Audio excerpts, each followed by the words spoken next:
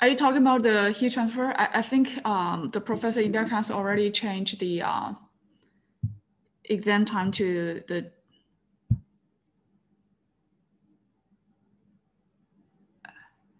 Really? Um, oh, I think that last time was also talking about, yeah, it's, it's, it's during the class. I think he, he already changed it, the introduction to numeric methods. He already changed that one.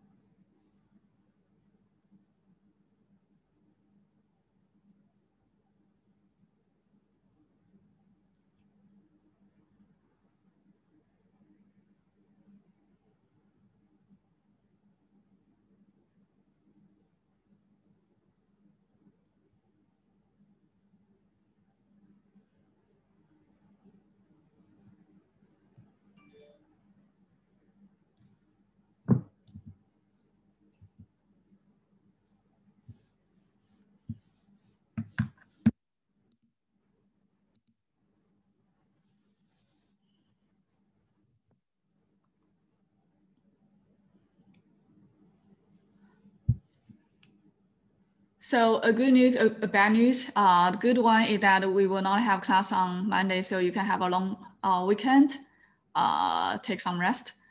And the bad news is that we will have exam next Friday, Friday night. So next Wednesday will be a exam review class, and next Friday, well, during class time, there's no class, but we will have exam at night, and I will have office hour during the regular office hours time. So it's between 12.30 to 1.30, I don't know. Yeah, so that's the schedule for the next week. And uh, I think we can start class today. So in the last class, we talked about uh, the general, generalized Hooke's law. So basically we ex expand, let's say originally we only talk about tension compression in the x direction. So the generalized uh, Hooke's law mean that, okay, now we have the tension compression in the x direction, y direction, and z direction. And what is the relation between the stress and the strain and everything? And it's, be careful, it's not the uh, strain equal to stress of a Young's modulus anymore. That is only for axial loading, only have tension or compression in the x direction in one dimension. If it's the, uh, we have the force applied compressive or tensile force applied in three dimension, then we need to use the generalized Hooke's law we talked about in last class. So that is like everything in three dimension, but only involve the normal stress, normal strain. So in today's class, I want to talk about the what if there are, um, well, in a more generalized concept, what if there are normal stress and shear stress, shear strain, um, in all three dimensions. So we not uh, go very deep on that, but conceptually we need to know uh, like if I give you tau xy, tau xz, tau zy, you should know what it means, or gamma xy, gamma xz, uh, based on the subscript. Uh, for the detailed calculation, you may take more advanced class for that, but this one just like um, a basic conceptual. What if there is normal stress, shear stress, uh, and normal strain, shear strain on uh, for the multi-axial loading. Um, so in in the textbook, they separate into like two chapters, but um, I think it's better to put it here. So this is uh, chapter 1.4. Stress under the general uh, loading condition.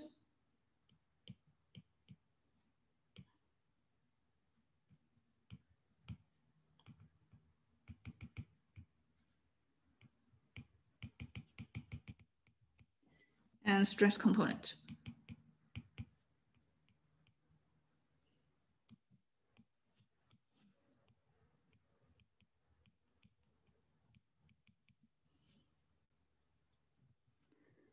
So let's assume that we have a structure in three dimension space. So uh, we normally assume this is x direction and upward as the y direction. And of course, out of the plane, out of xy plane is the z direction. And we have a uh, structure. Uh, let's say this is a structure we're going to talk about.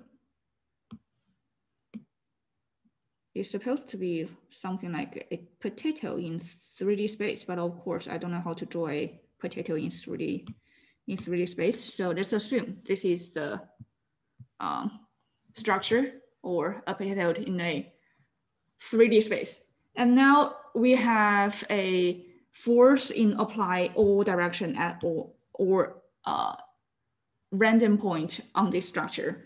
So let's say we have F1, F2, F3, and F4. And this, um, let's change the direction a little bit. So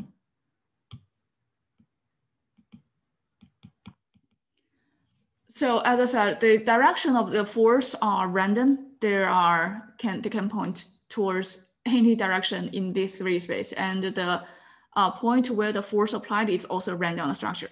So we can kind of feel that okay, this is not just normal stress, normal strain anymore. It will generate uh, shear stress, shear strain. So in this situation, let's say if I have a specific point inside the structure, and let's say at this point Q, um, and I want to know what are the stress at this point, right? So if I can figure out a general, uh, a general uh, like uh, way to find the stress at this point, I can find stress at any point, and then we can find the maximum stress in uh, in this structure, and then we can compare with what material is this structure made of, and we can know okay, is if this structure for given structure for given material um, and for given loading condition, will it fail or not, right? So this is like a basic idea how we do the structure analysis. So let's start from the this single point. And for this single point, uh, what we can do is that, okay, we know that uh, this is 3D space, so we can cut through this point using a plane perpendicular to the x direction, perpendicular to the y direction, and perpendicular to the z, direction, right? So let's start from the using a plane cut through this point uh, perpendicular to the x-axis. So for any plane that is perpendicular to that axis, we call it the that plane, right? So x-plane means the uh, plane that is perpendicular to the x-axis. So for this one, we can consume, we, we can assume, we can assume that it's um, something. I really don't know how about this. So let's say this is the plane that is cut through the point Q, and this is the X plane. And on this plane, uh, there's a small square, which is a very small square that is around the point Q. And on this plane, we have of course, we know that there should be normal stress or uh, the force component is normal force. And we have the shear force. The shear force on this x-plane can be either in y direction or in z direction. And uh, all the others that are not in the y direction, z direction can be uh, resolved into component of the y direction, z direction. So let's say we have the shear force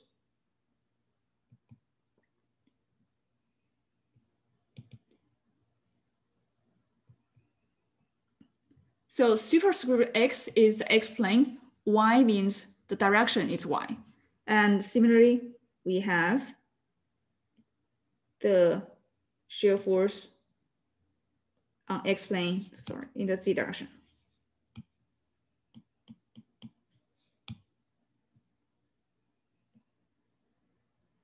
Let's write outside, it's, it's too confusing to write here. Delta V, V means shear force, on the x-plane in the z direction. So now these are the three force component uh, applied on the small square um, the small square I choose here around the point Q. So that's why we have the delta V, delta P, right? It's only the force applied on this small area. And uh, the superscript X means it's X plane, which means the plane is perpendicular to the X axis. And the, of course, for normal force is XX, right? And for the shear force, if it in the Y direction, Y direction, this is subscript, subscript z direction, subscript. So this is the basic notation we're gonna use uh, for the rest of semester if we talk about the shear force, internal shear, uh, shear force and uh, normal force. And now we know that, okay, the question is, we know the force applied here at this point uh, on the small area, and what is the stress? And we know that the stress is force over area, right?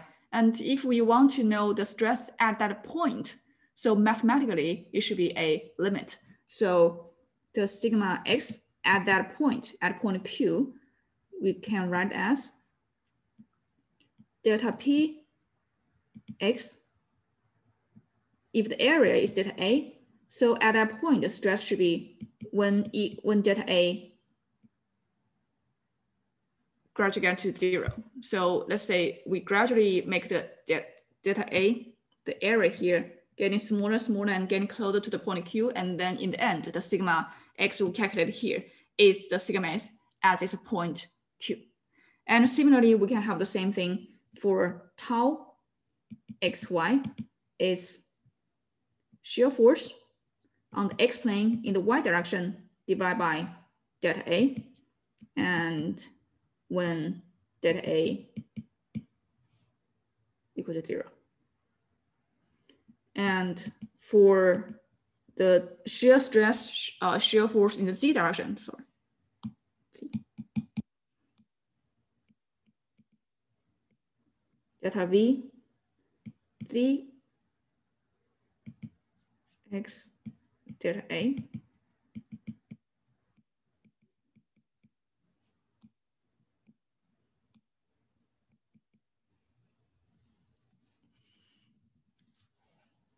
So it's more like we we kind of uh, imagine that this area getting smaller and smaller and converge to one point, and and this value is the stress at that point. And mathematically, it means that the data converge to a point, the area converge to a point. Um, so this is everything, the stress, normal stress, shear stress in the X plane. And similarly, we can have the y plane. So let's say uh, now we cut through this point uh, using a plane that is perpendicular to the y-axis. So it's more like cut through the point like this, right? And I can see.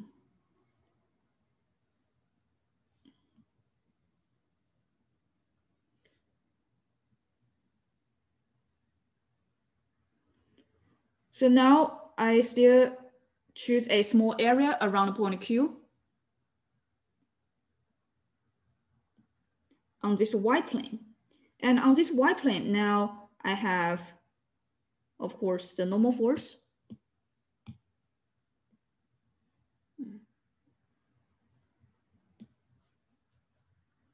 Delta P, now it becomes delta Py. The superscript is the uh, y plane. And the same thing on the y plane, we have shear stress, shear force, internal shear force, uh, delta V.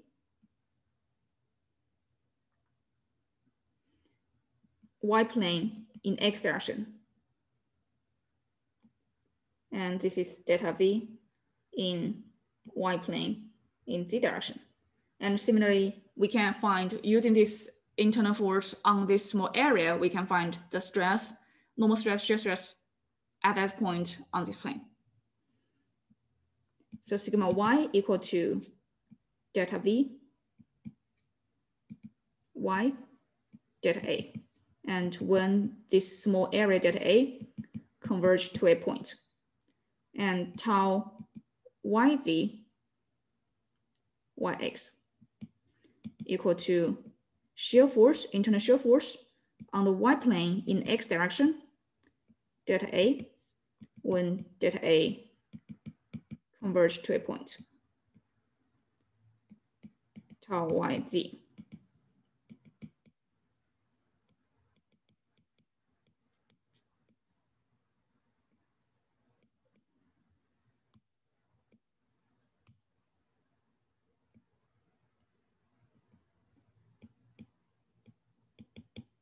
So these are the three components, stress components uh, on the Y plane.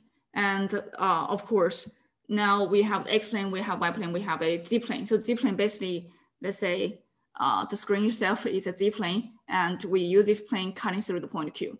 And so for this one, uh, so because it's very similar, I will do this one very quickly. So let's say this is a uh, Z plane cutting through point Q. And same thing, we have a small area. We choose a small area around the point Q.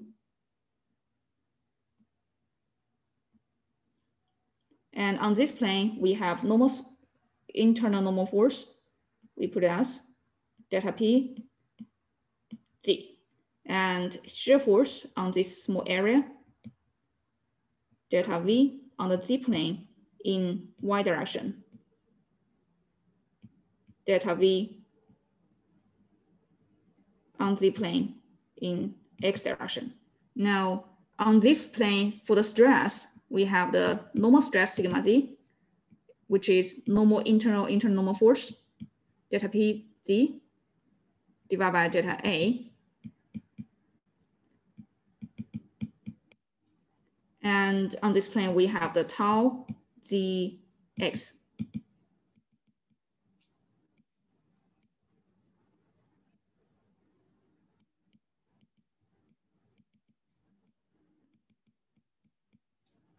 And same thing, tau zy.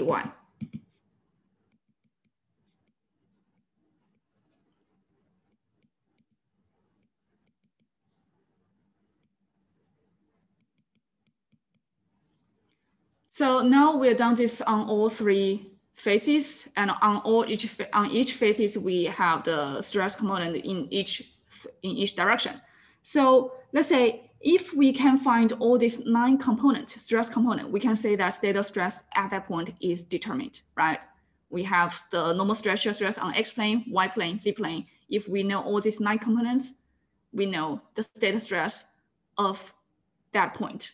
And of course, for the other, for the, let's say if it's an inclined plane, uh, inclined uh, in, in either direction, then it's more of like depend on what is the inclined angle. And we learned that in for 1D bar situation, it can, it can be get more complicated, but we know we should find, if once we know the angle, we can figure out what is the stress on that plane based on all these nine components. It's all depend on the, all these nine components, right? Um, so for this one, if we put in one uh, small cube to put, put all this nine stress on a on one small cube around the point Q, we can write like this.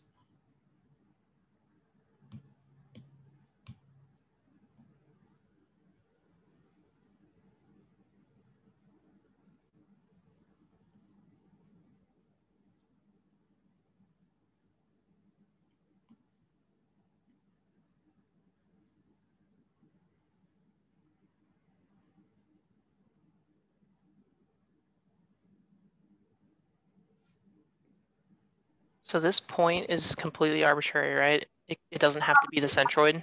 It's, it's, it's not centroid or anything. I just choose an arbitrary, uh, a random point. So we can generalize, have a generalized concept. Then you can use this concept to find anything, find the stress at any point. That's the final goal. So okay, thank you. You're welcome. I, it's like I happen to draw it in the, on the centroid, but it's not centroid, it's a random point.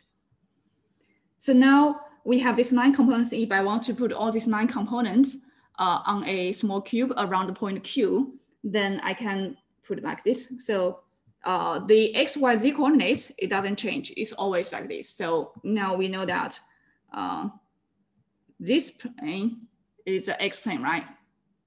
So on this X plane, we have, um, let's use different color.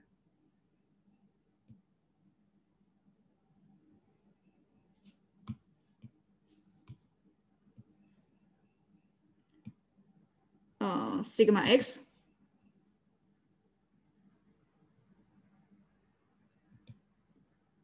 tau xy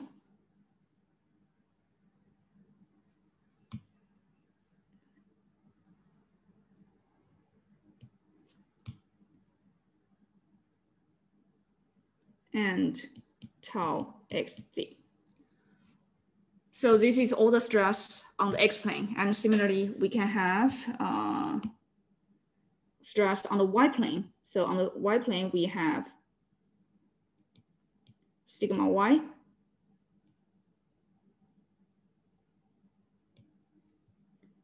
tau y x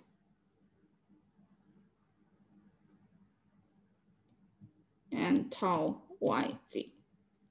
Similarly, on the z plane, we have the sigma z. Let's change the color.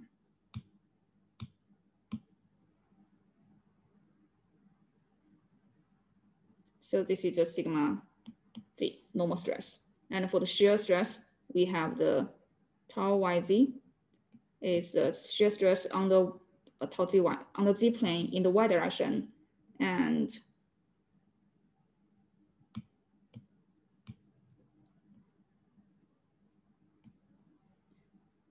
tau zx.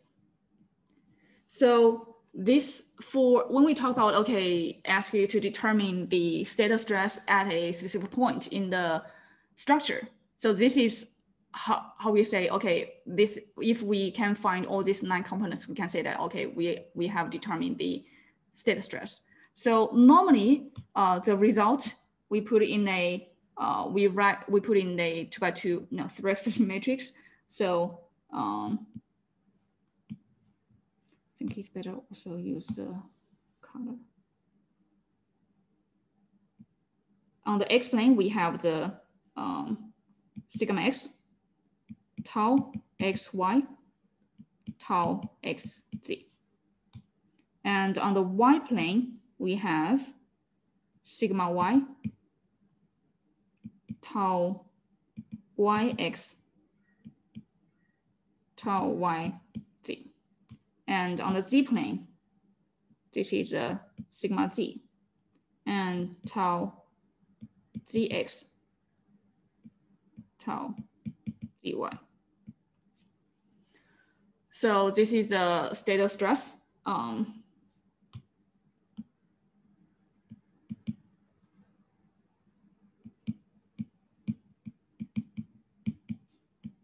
at a point, at a random point. we have all components in the x-plane, in the x-plane, in the y-plane, in the z-plane. And on this plane, we have uh, in the x direction, where sigma x, sometimes some professor use sigma xx, some, uh, but some professor, well, it's a waste of life. Why use xx? Because normal stress is always uh, either xx, yy, dz. So they just use sigma x, sigma y, sigma z. But if you want to use, make it like easier to understand subscript, so everything, this is everything in the x plane and in x direction, y direction, z direction. And this is everything in the y plane, x direction, y direction, z direction.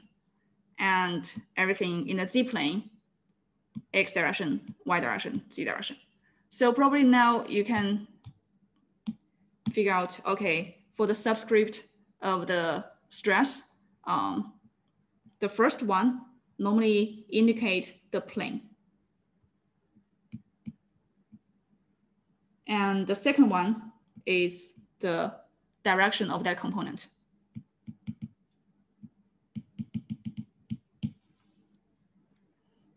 So let's say if it's the, the first group, if it's z, it means that it's a plane perpendicular to the z axis. If it's x, of course, it's a plane that perpendicular to the x direction. That's normally how we define define the plane in mechanical engineering, right? It's, it's consistent for the, all the classes. Um, so now we have these nine components, but it does not mean that all these nine components, uh, if a if your structure is in the equilibrium, it doesn't mean that all these nine components are different because consider that uh, your structure is in equilibrium. There should be a equilibrium. Uh, we can find some relation between, let's say, the shear stress tau xy, tau x, tau xz, tau xz, tau zx, and zy, yz. Because um, if there are they are different, they might rotate the structure. Then your structure is not in equilibrium, right? So uh, I think it's better to use a simple example. Let's say we only consider in the xy plane. Now this becomes a 2D square.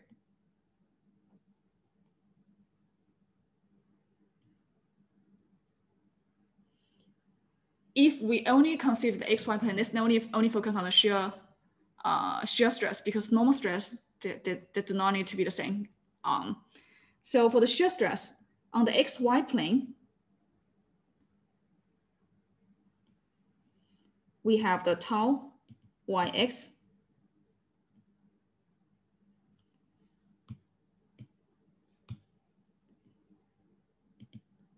tau xy and of course tau yx here and tau xy. This is uh, now we just want to use a uh, simple situation to demonstrate why uh, some components should be the same to maintain the equilibrium.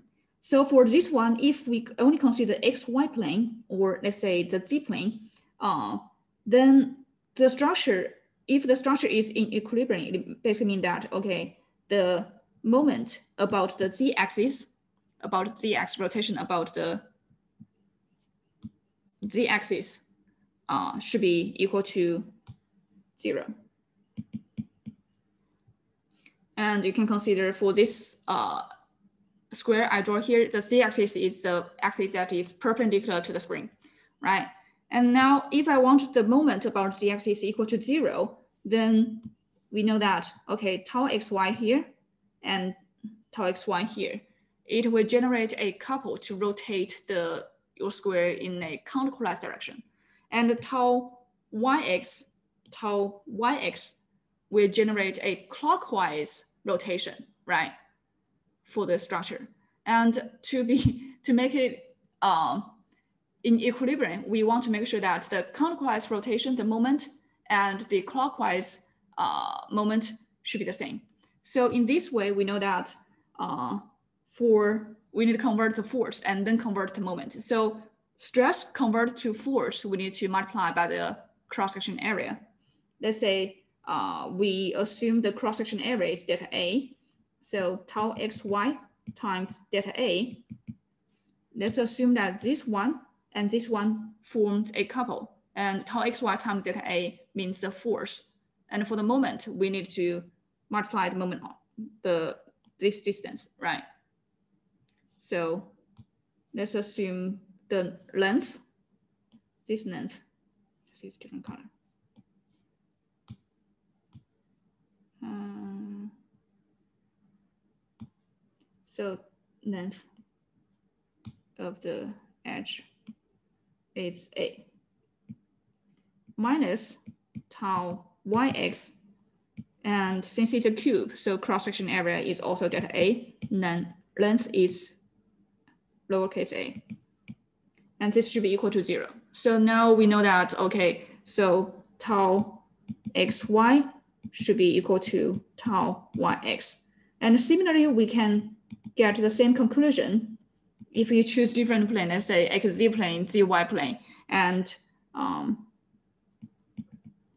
we can get the same conclusion that tau xz equal to tau zx and tau yz equal to tau zy.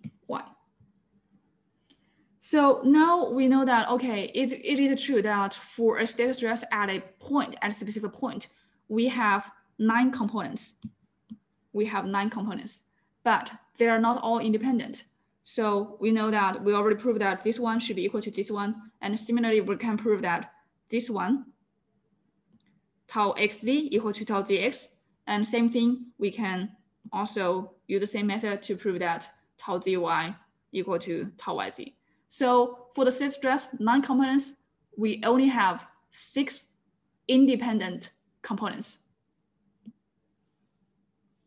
So if know we know this six value, we know the state stress at that point, right? I think it's better to write it here. Um,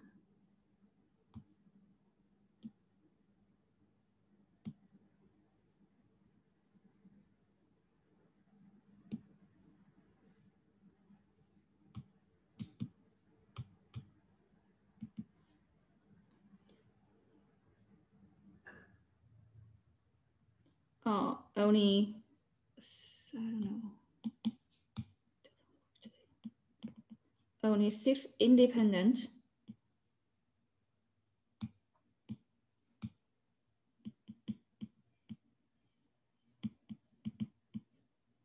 Stress components.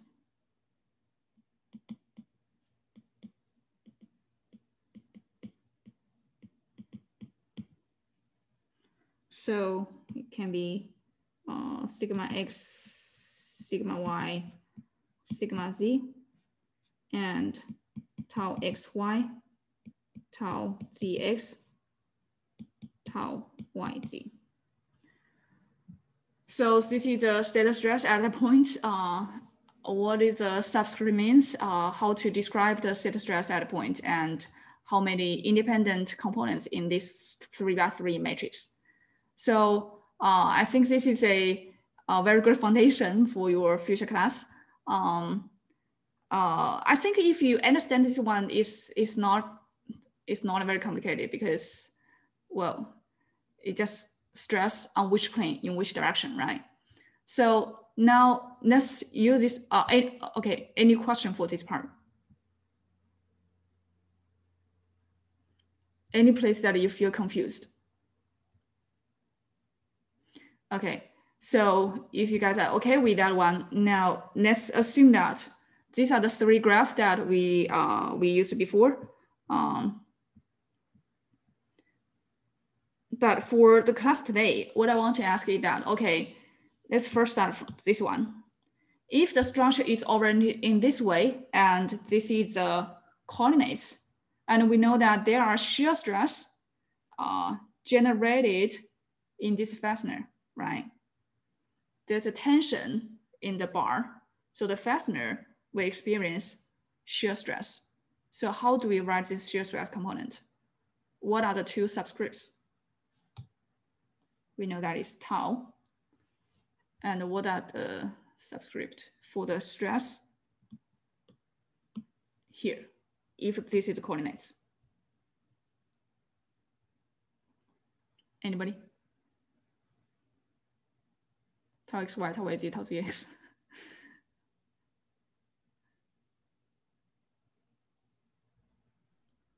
x z x z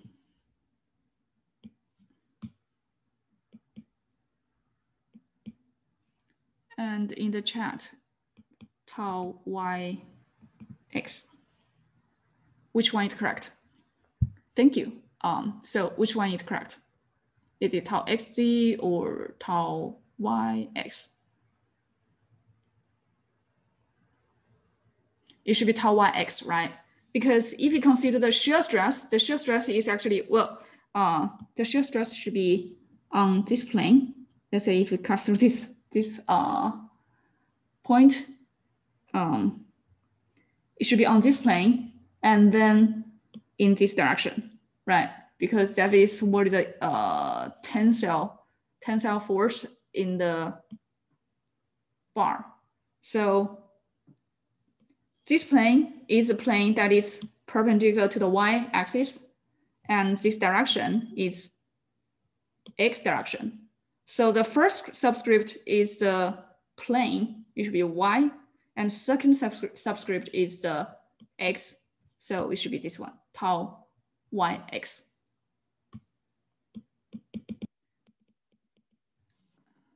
How about the second one? If now this is how the structure oriented, and again, this is the coordinates. What is the stress, shear stress component?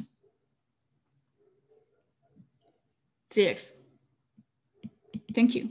So this is basically, okay, now the plane is uh, perpendicular to the z-axis and uh, again, the direction, the component stress component direction is still in the x direction. And this one.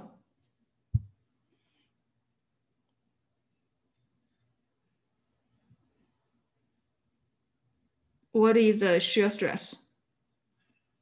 Y plane, x direction. Thank you.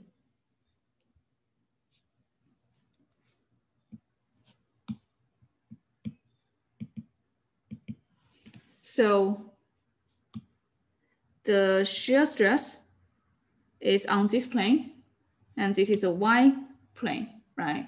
And it is in this direction, x direction, tau yx. How about this one?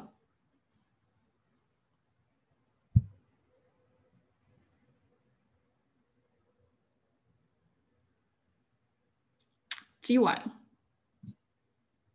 Thank you.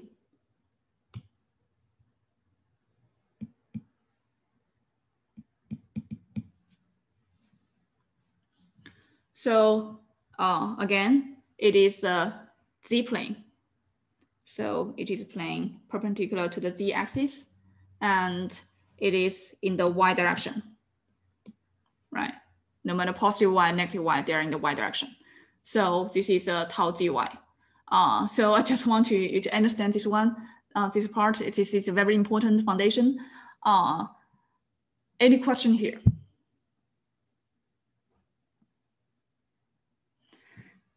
So this is a uh, exam problem uh, last year. Uh, I think I talked about this one in terms of when I when I talk about the uh, static review. So when I said this is a uh, two force member and everything, and you can do the force equilibrium for the first step and then calculate the how to calculate dimension and everything. So this part uh, you can check out the class later. Um, this is not a topic today, but uh, something you probably need to know to prepare for your exam anyway. So now the question is the second one. So for this structure, uh, let's ignore this detailed finger here because it rotates to show you what is uh, shear stress actually is, but let's ignore that one. If the structure is oriented in this way, in these coordinates, what is the stress component of shear stress at pin if um, what are the shear stress components here? Anybody?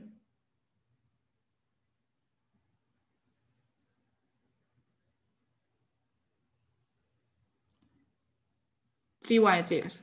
Thank you.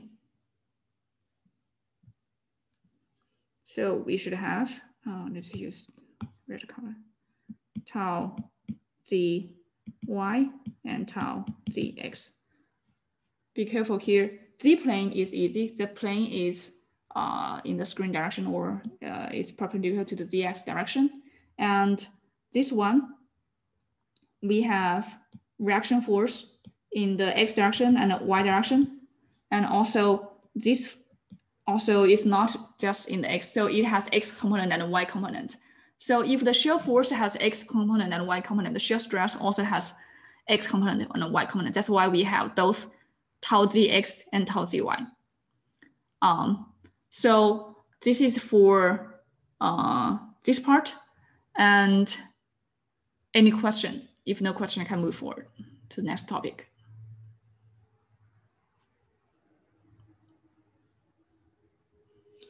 So now let's check. Since we know all the subscript and everything, I think it's easier to talk about the shear strain.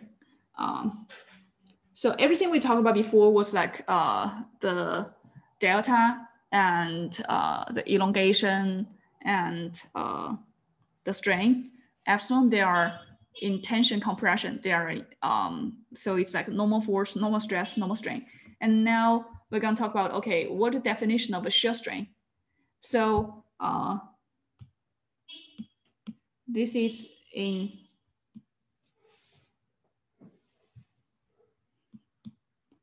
chapter 2.7, shear strain.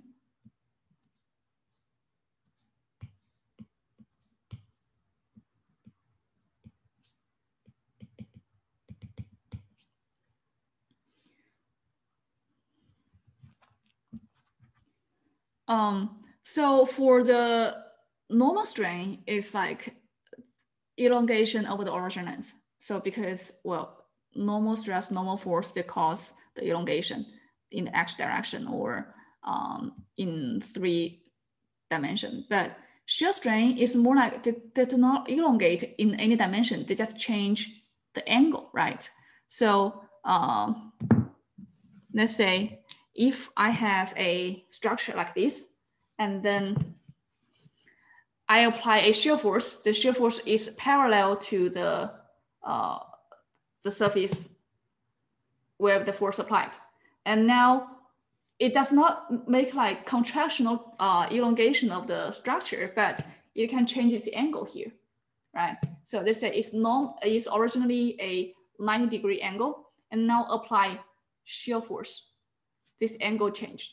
So I think the best way to describe this shear strain is by uh, describe how this angle change. So um, the definition shear strain is the reduction of the interior angle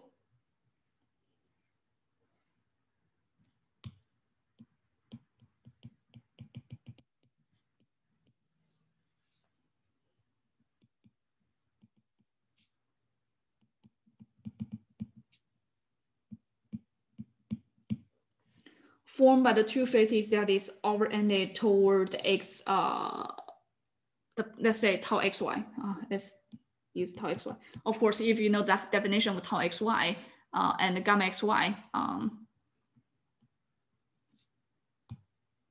you know all the like xz, everything. So let's use gamma xy. So gamma xy means uh, strain xy. And so this one means the reduction of interior angle formed by two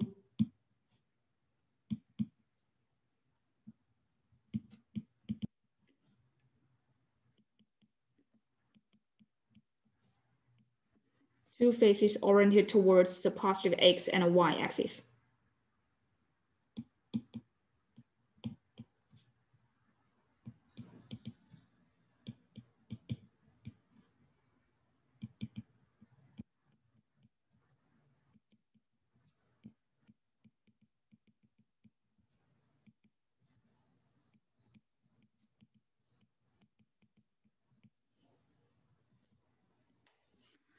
So for the one here, we know that if there are some shear force applied and it has shear stress, this one, this one, tau xy, and everything. And then the corresponding gamma xy is a reduction of this angle, right? So it's an interior angle fold, uh, formed by two faces that oriented towards the x and y axis.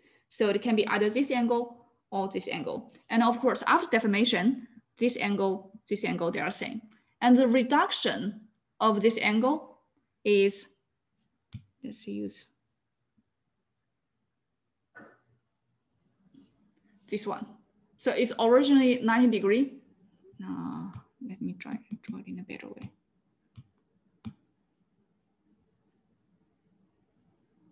So let's say this is the original angle uh, it is 90 degree. And now after the shear force, the angle decreased and the reduction of this angle is defined as shear strain gamma xy. Um,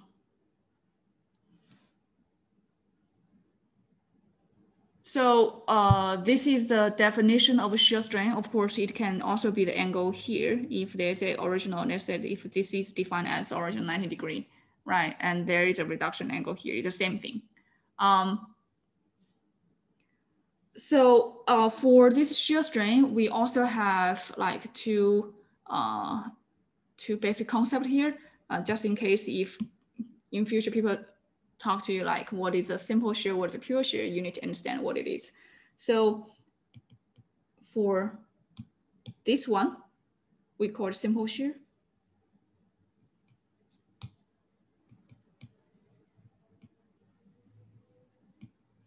And this one is a pure shear.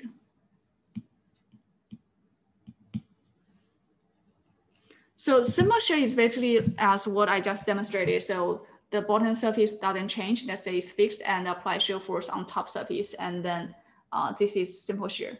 And the pure shear, um, you can imagine that, okay, uh, this point, I fix this point, but I pull, if this somehow I have this, uh, I can pull this one, this, this point, and then it will deform like this. And this is the pure shear. And of course, you can also consider pure shear is a simple shear and then I rotate it, right? So in terms of shear strain, it is the same. You just uh, you need to know what is simple shear and pure shear. Um, so as you can see that for the uh, shear strain, in simple shear is this angle, right? Reduction of the interior angle. So it's this angle.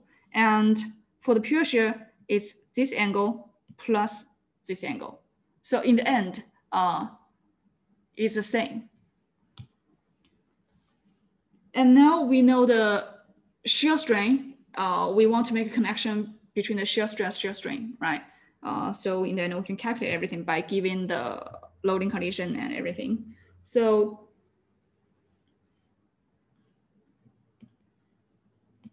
we know that Hooke's law for the axial loading, we have the stress equal to Young's modulus times the strain. And similar here, we have the stress equal to shear modulus times strain.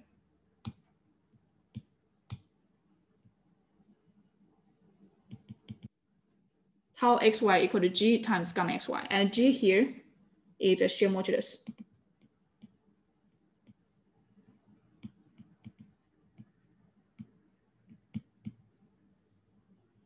And of course, this is also based on the assumption that the deformation is uh, within the proportional limit. So the deformation is very small.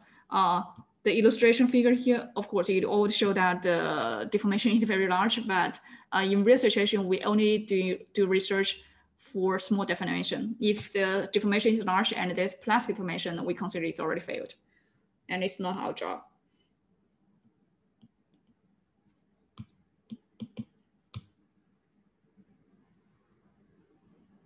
Um, is within within the proportional limit.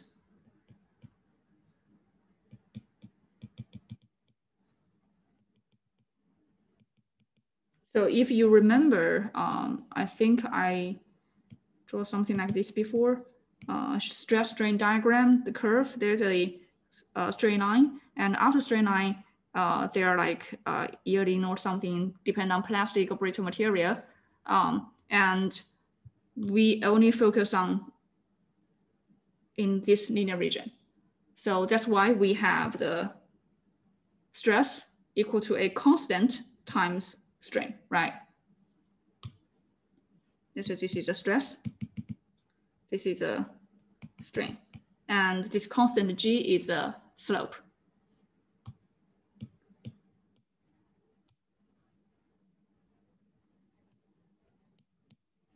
And uh, we always have the assumption that everything we will do for this semester is within the proportional limit.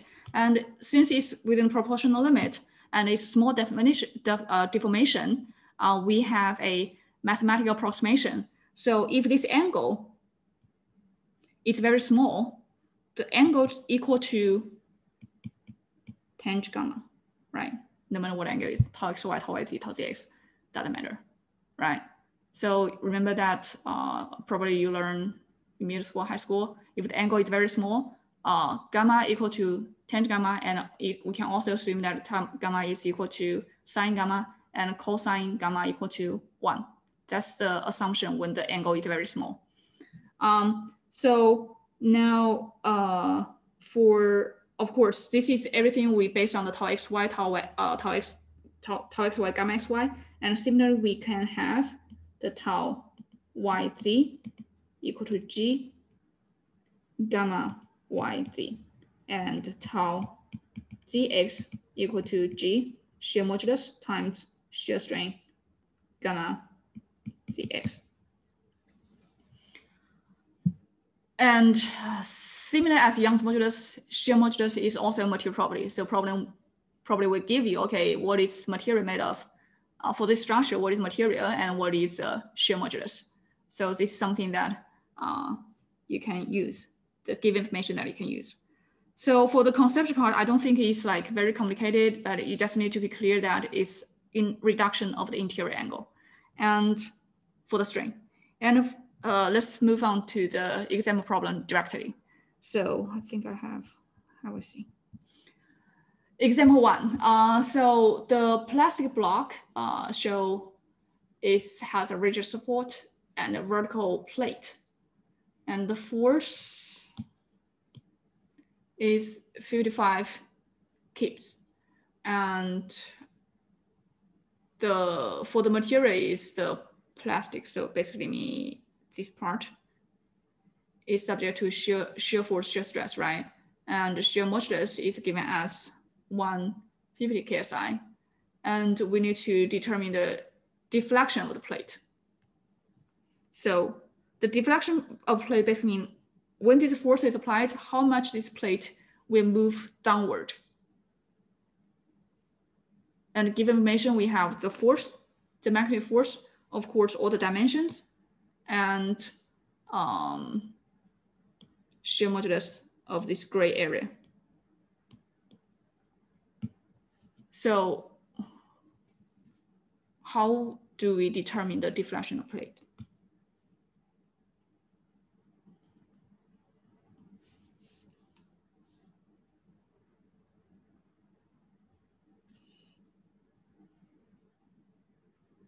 So let's, let's first define an coordinate here. It's just gonna be easier for us to uh, well, in, in terms of calculation, we don't need um, coordinates, but just to explain, easier to explain, let's assume that force applied, directional force applied is x direction, and then thickness direction is y direction, and then x, y, z, of course, out of screen is the z direction. And then let's assume that let's take the uh, a plane in the xy plane. So let's assume let's only consider this plane and put it as 2D. We can write the relation between the shear strain and the deflection of plate.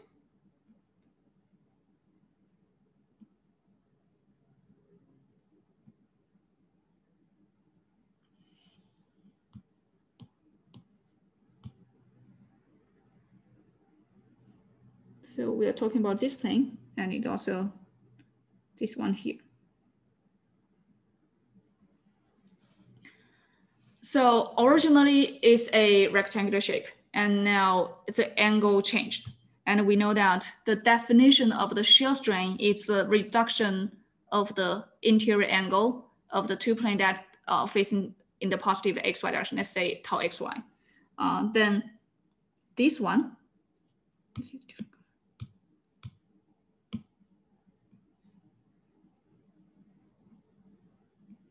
this should de be defined as the gamma shear strain, right? And the deflection, deflection of the plate, this question asked should be this distance. This is the deflection of plate.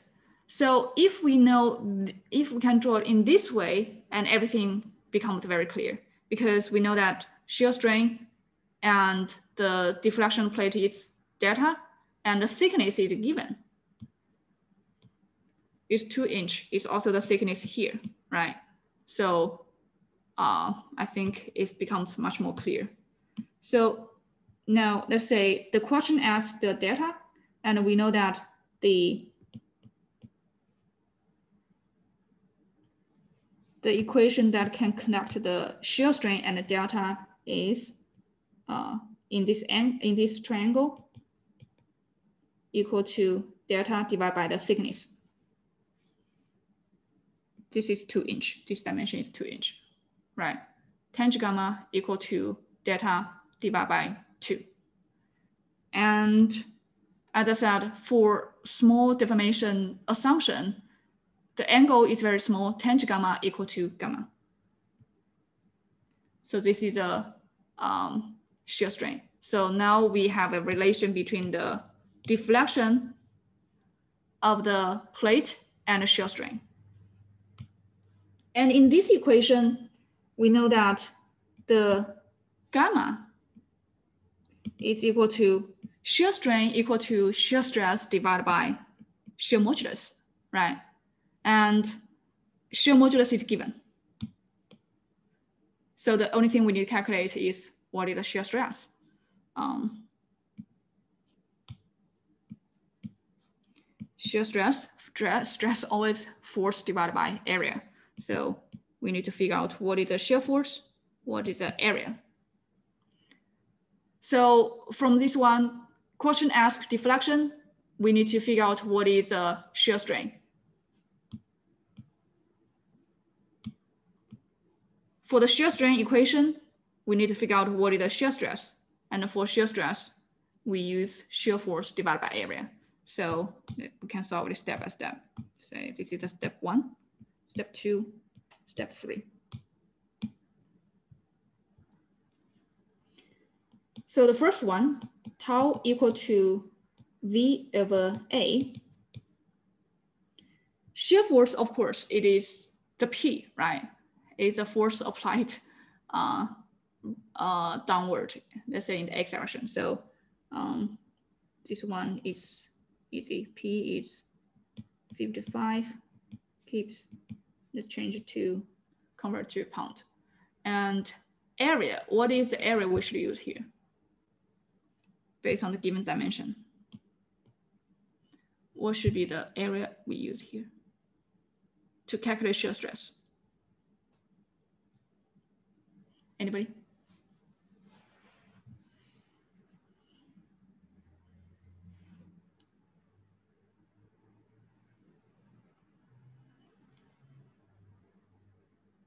3.2, 4.8, yes.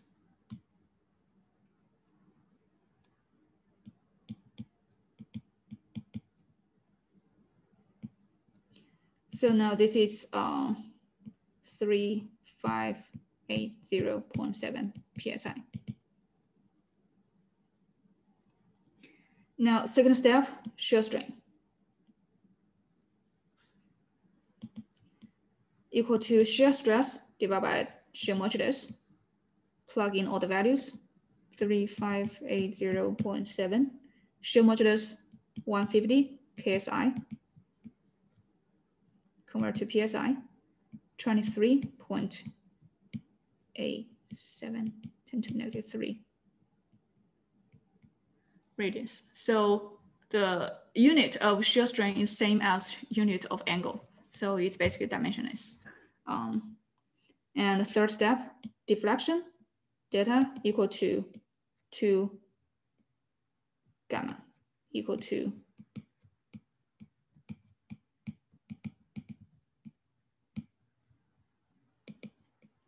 Forty-seven point seven inch. So this is how we solve the deflection of the plate. Um, for given material property, for given loading condition, and given structure. Um, so basically, uh, using the content we learned today, we connect everything, right? Um, second problem. Uh, so this one, uh, again, shear modulus given, and the structure to talk about here is this one. So the beam must not displace more than, okay, they put the constraint of the deflection. The displacement of this beam should not be higher than uh, this one. And then the external force is given here. So, and also another constraint, okay. The shear stress should be smaller than 60 PS, uh, PSI. So basically this, this problem, okay, this is a structure that has, there's a I-beam on top and there are, there's a structure, the gray area here uh, is a uh, structure that is subject to shear force. Um, and then the requirement that the beam should not, uh, displacement should not exceed in this one and the shearing stress in the gray region should not be higher than this one. And we need to determine what is allowable dimension B and what is allowable dimension A. A and B are here. So of course, to calculate A and B, we need to know that, okay, for the first one, to calculate B, which, which quantity that constrain the B determine the B dimension shear strain, shear stress, what it, what it is. If we want to determine the dimension B, which part, which, which component we need to consider is, is constrained by stress, shear stress, or shear strain, or anything else.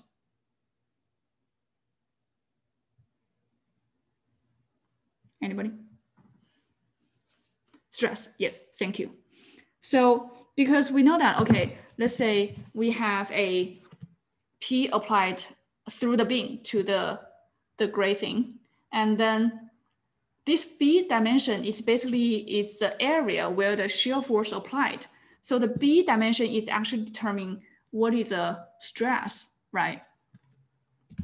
So we know that uh, here, um, the shear force divided by 8b should be smaller than the shearing stress. The shearing stress should be smaller than 60 psi. So this is how we calculate the allowable B. And for the A, what should be the constraint?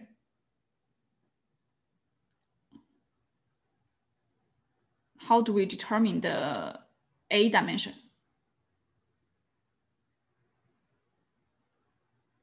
It's a strain, right? Deformation, yes. Deformation caused by shear stress is strain, yes, thank you. So it's basically, okay, now uh, let's, let's assume that we are consider this one. And then there's angle here, reduction of angle after apply the shear stress, uh, shear force. There's a reduction angle here. And this angle is, um, it can, we can make a relation with uh, deflection and A, as we talked about in previous example problem. And then this is actually the constraint for determining the A dimension. So um, let's do it step by step. So the first one, we know stress in the structure is equal to shear force divided by the area and the shear force is five 10, 2, 3, right? Yes, five kips. Um, and area is A times B. And this should be smaller than 60 PSI. So B should be greater than 10.14 inch. And for the part B, we need to determine the thickness, I think it's better that uh,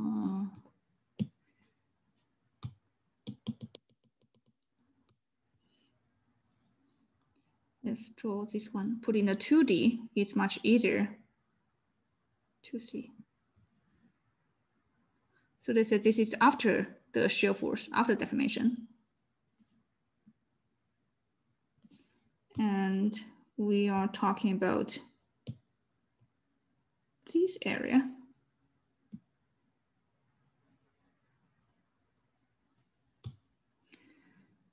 And this dimension is B. And the deflection of the plate should be this one.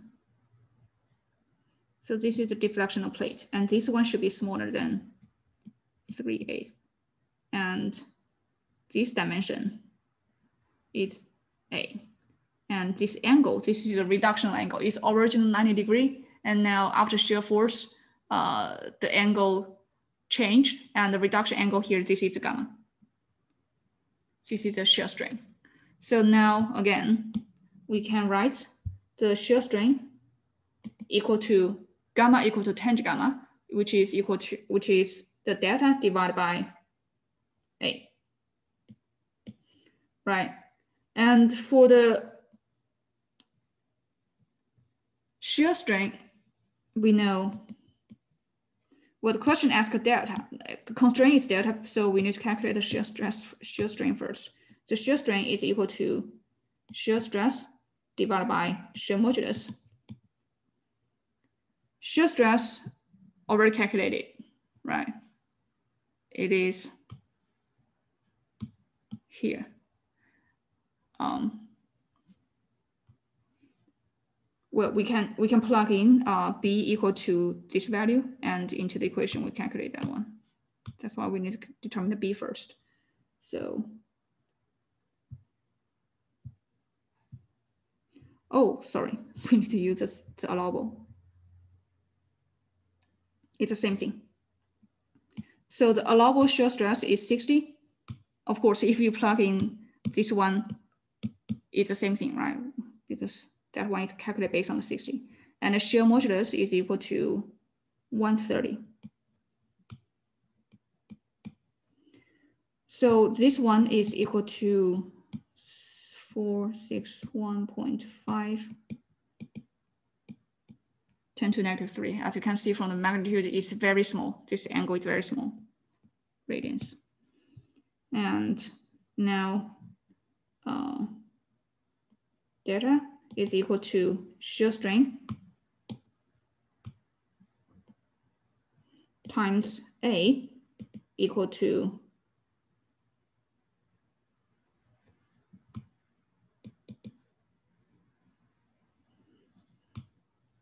smaller than the deflection of the plate must not more than 3 eighths inch.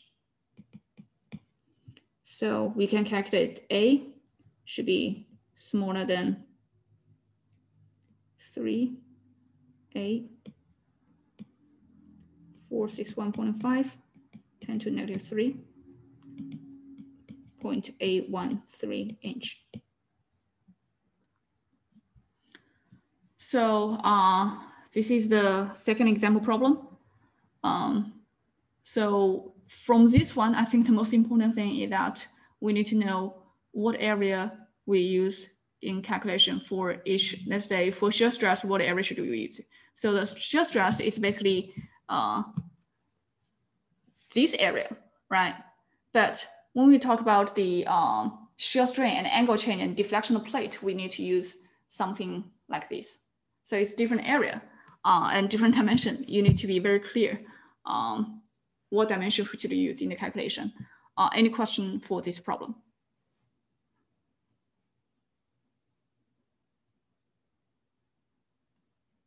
I actually have a quick question. Yeah. Um, is gamma is like tangent of gamma always going to be equal to gamma?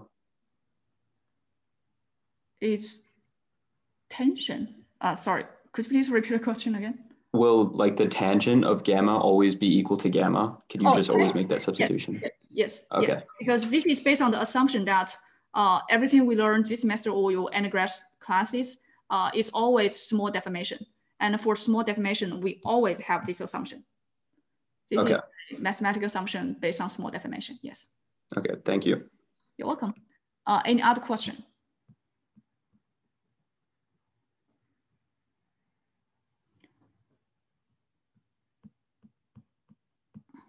so this is uh, again, uh, whenever you see some x uh, in the problem, it is uh, either quiz problem or exam problem. So this is the exam problem last year.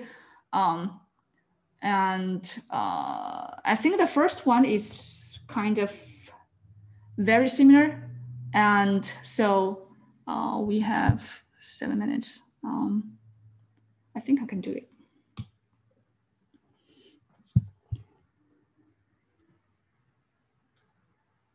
So this one, I think everything is given like very straightforward. Uh, we have the force applied on this on this rubber block, and it's in the positive z direction. And uh, all dimensions are given, and shear modulus is given, and calculate the deflection of the surface of top surface. So uh, since it's very similar, so I will do it very quickly. Uh, we force calculate the stress, then calculate strain. And for using the strain, we can find the relation between the deflection and the strain, right? So stress is equal to force divided by area. And let's assume x equal to zero. 10 to the fourth. And area, so what is area should we use here?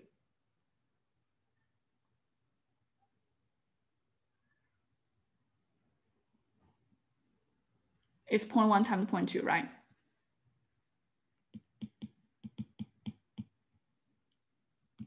It is this area.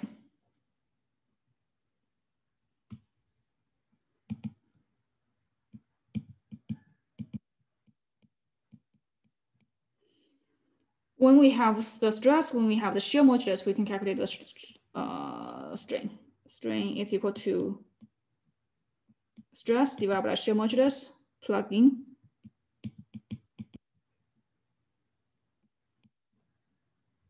and shear modulus is equal to 10 megapascal. And this is uh, radians. And the deflection of the top surface. Uh, so again, we use gamma equal to tangent gamma equal to deflection of top surface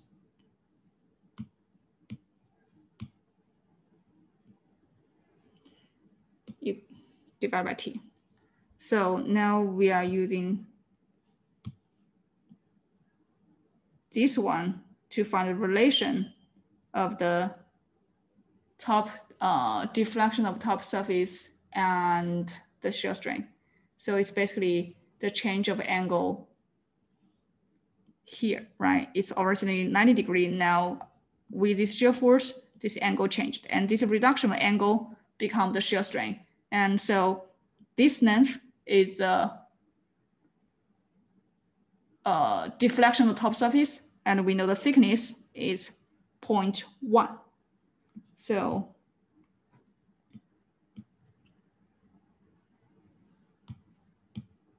sorry, we need to calculate delta. Delta equal to t times gamma. Uh, we plug in thickness 0.01 times 0.05.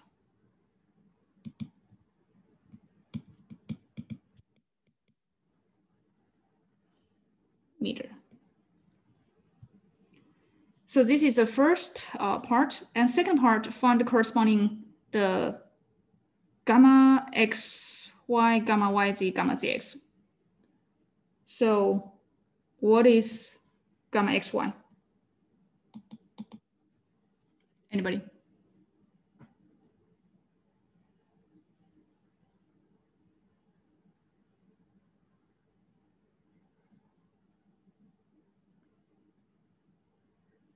Zero. Thank you. What is uh, gamma YZ? Yes. 0.05. What is uh, gamma ZX?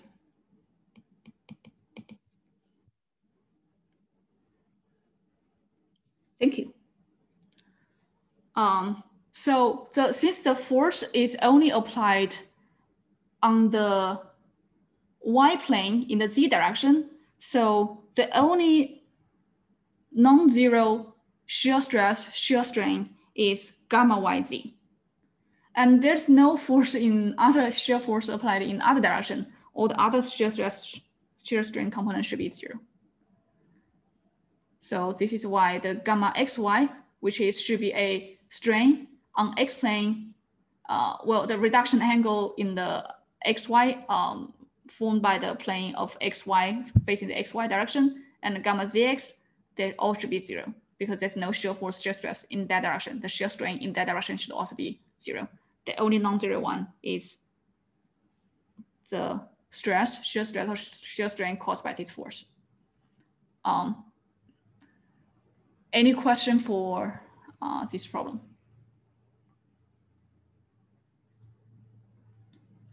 Um, so if no question, uh, thank you for coming to class today and have a great weekend. Bye. Thank you. Um, Professor, I had a question for this problem. Yeah. Uh, for, how did you know to use like that value of T? I know like it comes from the 10 millimeters of like the thickness, but how did you know it's supposed to be like um, that dimension? Yes, that's that's why I said you need to uh, be very careful of the, all the area here. So uh, when we talk about the deformation, we normally use this this area, right? Right. Yes. The stress shear strain, we use this area. And let's say it's originally, this is original 90 degree. And now after deformation, let's assume that it becomes this one, right?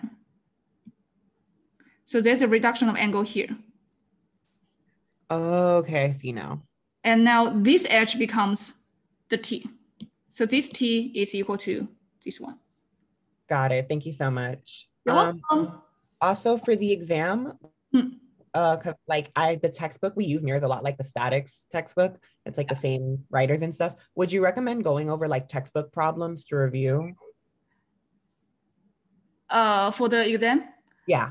Well, I would say that if you are not familiar with the statics, eh, everything that part, it's, it's really hard to solve the any exam problem because that is always the first step. So I, I would highly recommend that. Yes, it's a really great idea that you, you go over all the statics uh, first. Okay. If you screw up the first step, there's no way you can make the following step correct. Yeah, of course. Okay. Thank you so much. You're welcome. Have a great holiday. Thank you you too. Professor, Yep. someone also asked in the chat, um, will there be a formula sheet that we Yes. could use for the exam? Yes, I, I will. I will provide. So I will provide and I will post when I have it. Okay, thank you. You're welcome. Have a good weekend. Good to you too.